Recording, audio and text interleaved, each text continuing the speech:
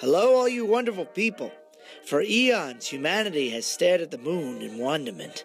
The Egyptians, Babylonians, Indians, Chinese, Native Americans, and Africans worshipped the moon because they believed the phases of the moon were related to crop growth and development. On a lighter note, humans have a tendency of creating patterns when they look at things. So when they stared at the moon, they came up with different images in the moon. Some people see a person, like the New Zealand people, they see a lady, whilst the Germans see an old man. Some cultures see a frog or a toad, and a lot see a rabbit. The Japanese have a story of why the rabbit is in the moon. In the forest lived a monkey, a fox, and a rabbit. A man wandered into the forest very hungry and started begging the animals for food. The monkey quickly went to the trees and got fruit. The fox went to a river and got a fish. The rabbit realized he had no food, only grass. So he said, Let's build a fire, and I will jump in it and be food for the man. The man said, Stop! and revealed that he was truly the man in the moon. And he said, For your kindness, I will give you immortality in the moon. And instantly he sent the rabbit to become one with the moon, showing his visage up in the sky. It must have been very painful for the rabbit. The moon man then twisted his mustache and said, Ha ha ha, monkey, fox, you're next if you don't give me the deed to this forest. Ha ha ha. And that, more or less, is the story of why the rabbit's in the moon. May that story be a lesson for those who like to do nice things for people with crescent shaped heads. But the tradition of honoring the moon continues to this day. And tonight in Japan is the night to gaze at the moon in hope of a good future harvest. So I'm in a place called Sumiyoshi Shrine for a moon viewing festival because why not?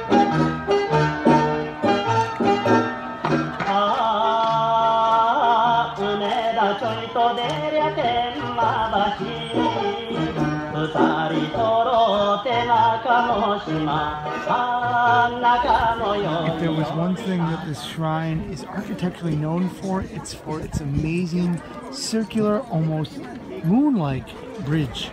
It also seems it's where the main festival events will be. I mean, no wonder why they picked this spot. The reflection in the water there makes it look like a full moon.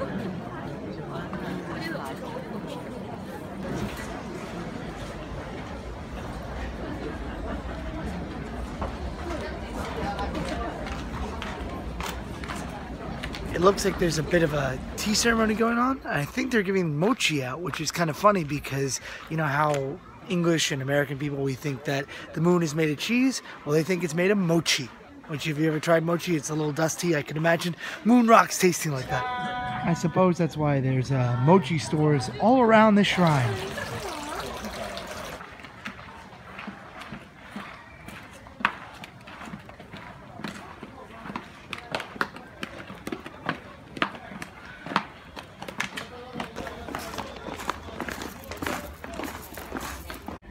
Unfortunately, if you wanted to get in the main part of the shrine, it's completely closed. But I know a way to get in. You have to dedicate yourself to a religion for about 20 or 30 years, wear a white uh, suit and a little black thing on your head, and then you can go in there. My God, I've broken the code. I've got to break this to somebody. Hello? Mom? You're not going to believe what I just learned. They still have phone booths in Japan, uh, even though everyone has cell phones.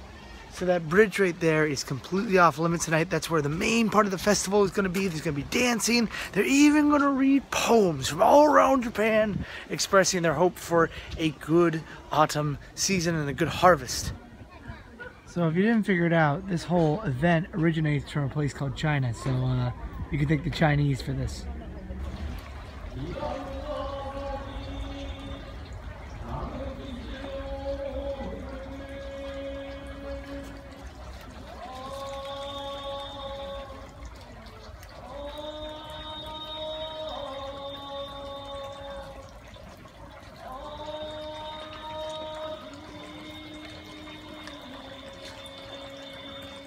If anyone ever offers to take you to Otsukimi, it literally is this, moon watching.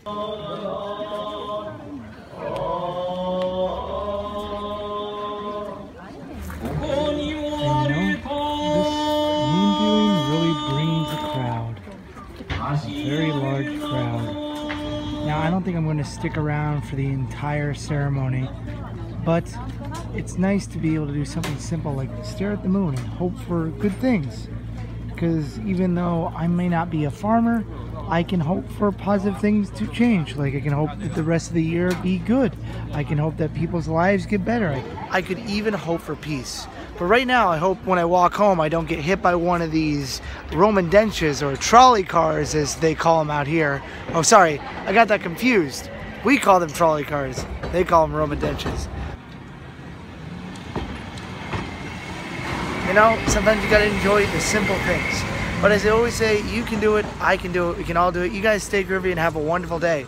Oh, also, I just bought my tickets on the Shinkansen to Tokyo. I'm going in two days.